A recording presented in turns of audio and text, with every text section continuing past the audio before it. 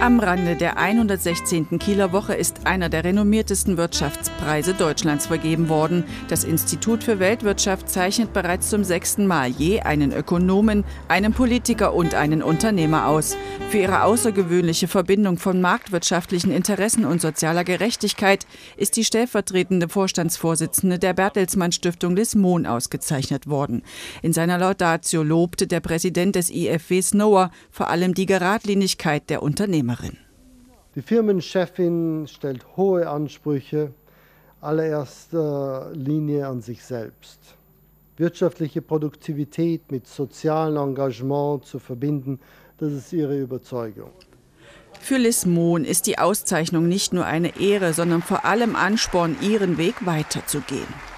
Es ist die Chance, dass andere Fenster sich öffnen und dass wir von der Globalisierung profitieren und viel lernen müssen, noch im Dialog miteinander zu sprechen und gerade auch junge Menschen zu verbinden.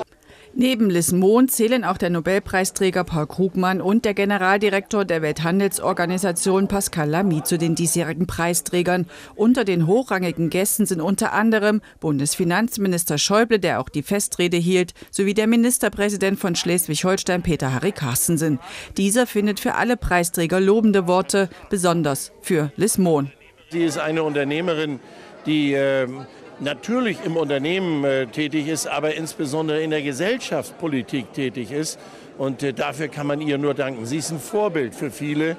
Der Preis wird bereits seit Jahren an Persönlichkeiten verliehen, die nicht nur an Profit interessiert sind, sondern auch soziale Ausgewogenheit und Gerechtigkeit im Sinn haben. Der Preis ist deshalb so interessant, weil er sich mit Menschen beschäftigt, die in die Zukunft schauen, nicht in die Vergangenheit. Die sagen, was kann denn in Zukunft passieren? Wie kann man die, die Welt in Zukunft ein bisschen besser machen, als sie heute ist? Und deswegen ist der Preis wichtig.